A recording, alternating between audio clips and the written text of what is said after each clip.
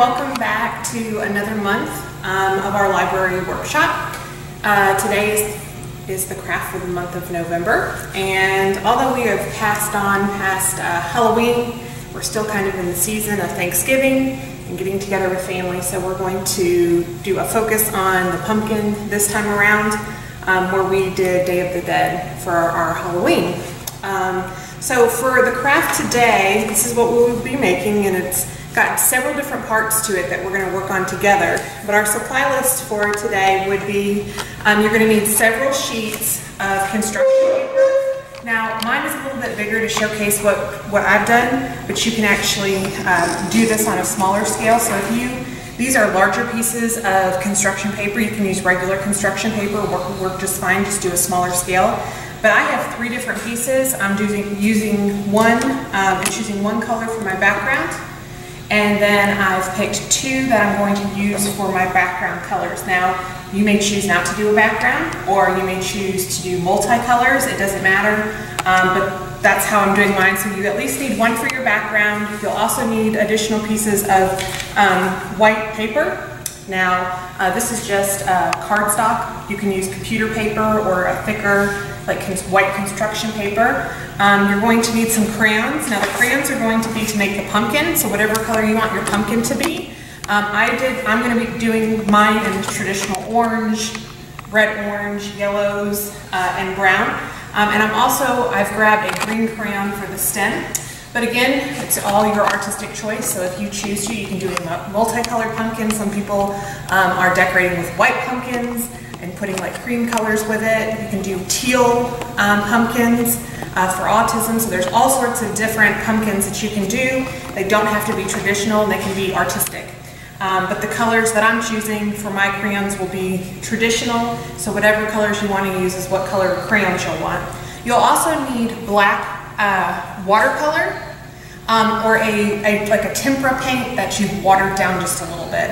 Um, but for this, we'll be using the black watercolor and a paintbrush. Um, you'll also need to grab some leaves. Now, for the sake of mine, I'm actually using um, artificial leaves. So if you, you know, if you have like a wreath at home or something that you, know, you have uh, fake plants out front or something like that for the fall, I just peeled a few of mine off. They, I'm going to be honest though, they don't work as well as uh, real leaves. So what, what you're looking for is leaves that have that veins, those veins in them, so that when you press it down and you paint with them and you print with them, you get that really good leaf print. Okay, so for the sake of today, I'll be using just artificial leaves, but you will need some sort of leaves, fresh or dried. Um, the color of paint that you want to use to actually print those leaves, in mine, I'm using a grin, but you can use any color you choose. Um, and then you're going to need glue. I'm using glue stick for my background and I'm using a liquid glue for my pumpkin, but you could use either or for both. A pair of scissors is something else that you'll need for this. Okay, so let's get started. Um, the first thing that we're going to do is I've kind of, because this is a little bit lengthier, I've kind of started off with a basic outline of a pumpkin. I've started kind of shading in some color because that's where the time, the time is most concerning um, is when you start coloring. So I'm going to grab my crayons here and I've, I've started um, and what I'm going to do is just color in my pumpkin now. And um, what I'm going to do is I'm going to use lots of different colors and I'm not going to spend as much time on this one as I did with that one, but you can see that you can spend a little or a lot. You can use lots of different colors. You can just if you want a basic orange pumpkin, that's fine. Um, but you don't need to press really hard. You don't need to fill it in completely.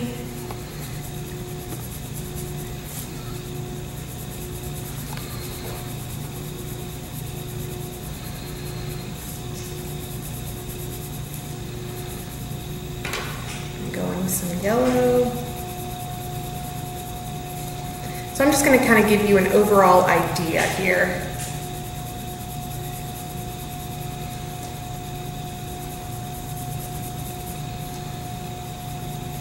Okay, so here's kind of a basic rendering of a pumpkin.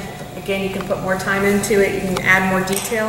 And I'm also going to add in my, uh, my stem and my leaves here. So you want to make sure to add those sorts of things in with your pumpkin, like the vine that's attached in the pumpkin patch, okay? So you can see how I, I did that. Usually sometimes they'll bend and, and twist and they might leave like a circle in there where it kind of weaves in and out. So then the next step I'm going to do is I'm actually going to, um, actually the next step I'm going to do is I'm going to paint over it so that I can get my watercolor. So I've just got um, water in my cup and I'm taking my black watercolor, and we've done this watercolor resist before. If you've joined me in some of our other sessions, we've done this. It's called uh, resist. And the reason why it's called resist is because all you're doing is you're taking watercolor, which the base is water, right, with a little bit of pigment of black, and you're going over wax, which is basically oil. And if you know anything about science, and you've done experiments, you know that oil and water do not mix, right? So they resist. So that wax crayon that you've put down, that uh, design of your pumpkin is going to create a resist. However, in those white spots behind your pumpkin that you didn't color boldly, where there was paper, that's where your watercolor is really going to grab. And when you do that, and this dries, you can see how it makes the, the wax crayon really pop. Okay? Now, I'm going to, I'm doing kind of the quick version, but normally you would allow this to dry. And then you're gonna just cut it out.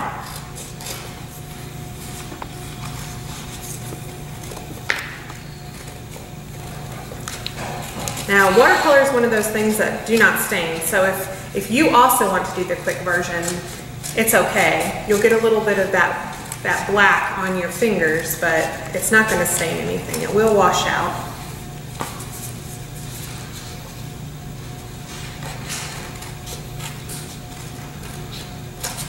Okay, so I'm gonna put my pumpkin aside. Just let it sit and dry for a little bit while I move on to the next section. And the next part is going to be my leaf prints. Now, again, you can use any leaves that you have uh, at home. And for this, I'm actually, uh, you might need a little plate or something to squeeze your paint. I'm actually going to just squeeze a little bit here on my palette.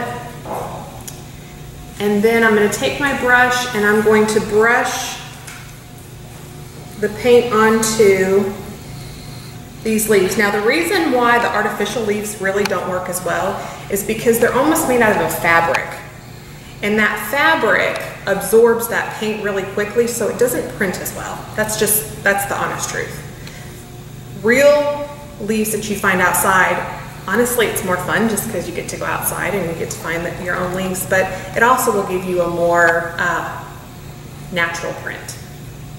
So I'm going to press this down and you don't have to use a brayer. I'm going to just because I'm using a fabric leaf but you just take your hand and you'll press it down.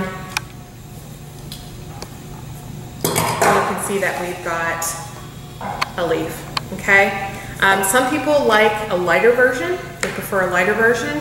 And really, let me teach you something. I'm, I'm applying more paint, but if I wasn't to apply more paint, if I was just leaving it the way that I had it, and I used what was left from the original one and put it back down, you get a lighter print. It's called a ghost print.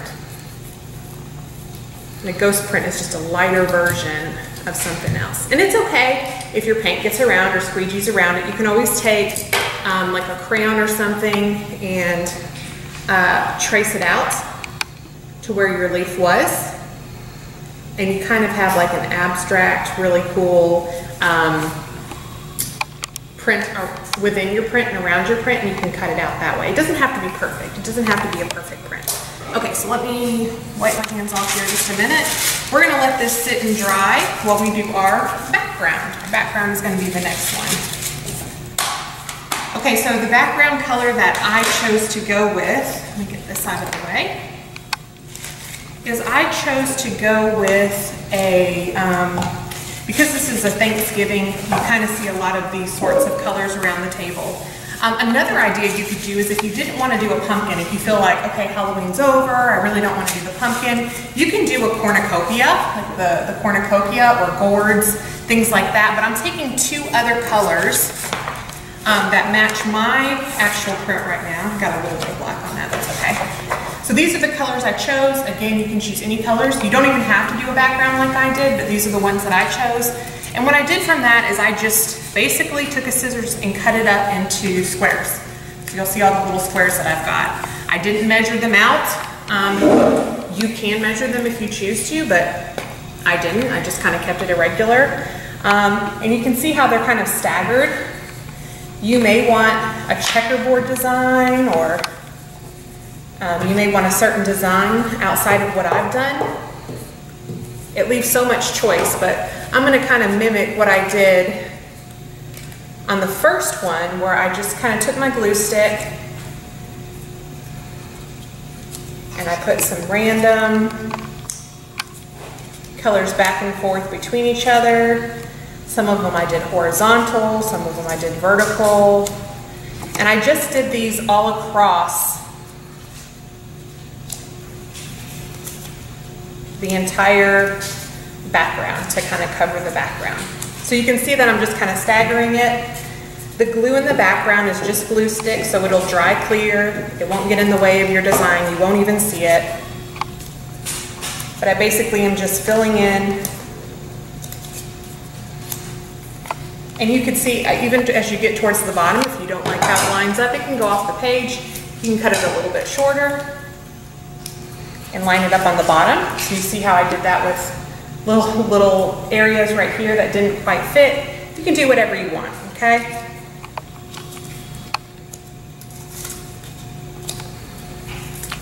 I like to really leave it open so that you have as much choice as you want. And it also, you know, it'll then depend on the materials that you have as well because not everybody has the same materials at home and you can't always go out and buy every little thing on the supply list. So I'm just getting started on this one, but I am, just wanted to show you how to get started on the background. I added a little pizzazz to each of those by just putting, just basically taking a crayon or a Sharpie and outlining the square. Just kind of gives it an extra little pattern. So you can see how I did that. Very similar to this one. And on this one, I actually only did the green squares. Instead of doing all of them, I just did the green squares. But you, again, you could do whatever you want. So then the next step that I would do is I would actually take my leaves and hopefully at this moment they would be uh, dried. I'm gonna cut the one out that printed better for mine. It's okay to leave the space around it. Some people don't like that white space, but if that bothers you, you can even print on a colored piece of paper. So if you don't like the white background on your leaves, you could take a light green or a light brown and print that way and then put green paint on your paper so that you actually have a background. Okay, so I'm gonna cut one out. And then my last step is actually going to be to assemble it. And so for this, because this is a larger piece, I'm actually gonna take my liquid glue and I'm gonna squeeze the liquid glue all over there. And once I had my entire background filled, I would lay my pumpkin where I wanted it, press it down, and before it dried, just so I knew exactly where my leaf was gonna go, I put those last. You could put those first and put your glue your pumpkin over it, but I wanted to actually know exactly where I was going to be putting my leaves. So as it's still wet, kind of leave it where I can press it where I want it.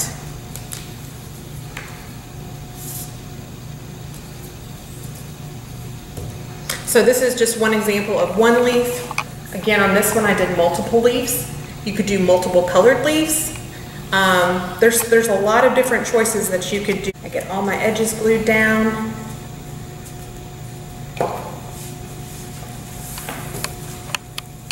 And this is a different rendition, but basically it's the exact same project.